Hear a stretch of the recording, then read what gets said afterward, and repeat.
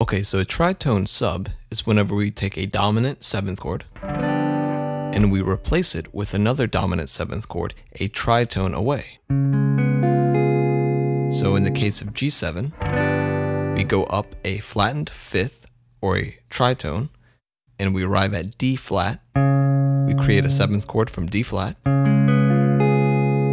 and that'll help us resolve our chord. So this works especially well in 5-1 cadences, such as G7 to C.